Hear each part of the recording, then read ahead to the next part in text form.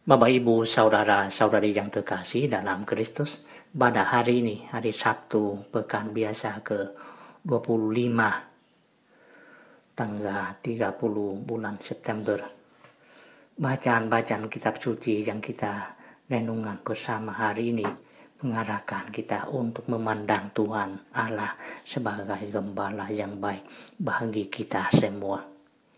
Dari bacaan pertama kita mendengar nubuat Zakaria dalam penglihatannya ia melihat seorang yang hendak pergi ke Yerusalem untuk mengukur panjang dan lebar kota suci ini. Zakaria mendengar perkataan malaikat bahwa Yerusalem akan tetap tinggal terbuka seperti padang terbuka oleh karena banyaknya manusia dan hewan di dalamnya.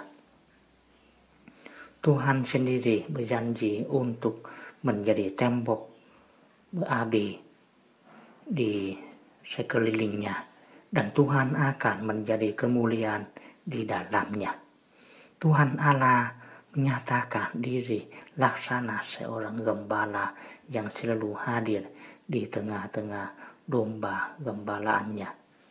Tuhan juga berjanji untuk tinggal di tengah-tengah umat Allah.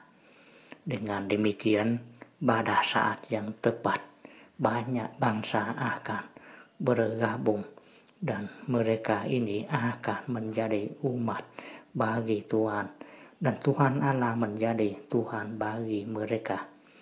Hal ini menjadi alasan bagi mereka untuk bersuka cita di dalam Tuhan.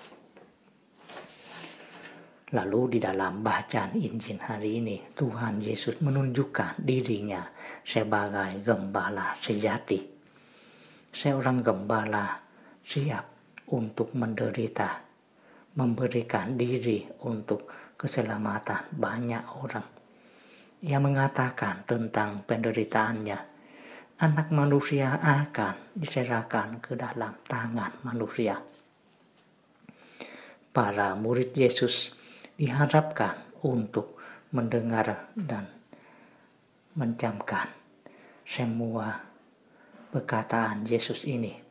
Ia sadar akan segala penderitaan yang akan dialaminya. Ia tetap tegar untuk memberi dirinya demi keselamatan manusia kita. Gembala yang baik siap untuk menderita bahkan menyerahkan nyawanya bagi domba-dombanya. Reaksi para muridnya adalah mereka tidak mengerti perkataan Tuhan Yesus ini. Mereka tidak berani bertanya kepada Yesus maksud semua perkataan ini. Bapak, Ibu, saudara-saudari yang terkasih, pada hari ini, hari terakhir bulan Kitab Suci Nasional pikiran kita diarahkan kepada Tuhan sebagai gembala yang baik yang siap menderita untuk keselamatan umat manusia. Santo Hieronymus pernah berkata, tidak mengenal kitab suci berarti tidak mengenal Kristus. Apakah kita sudah mengenal kitab suci, Bapak Ibu, saudara-saudari yang terkasih, apakah sharing sharing selama bulan kitab suci nasional ini telah mengubah kehidupan pribadi kita untuk mendengar, merenungkan, dan melakukan sabda Tuhan. Sabda Tuhan haruslah mengubah hidup kita untuk menjadi gembala dalam segala hal. Mulai dari dalam diri kita, keluarga kita, dan lingkungan hidup kita masing-masing.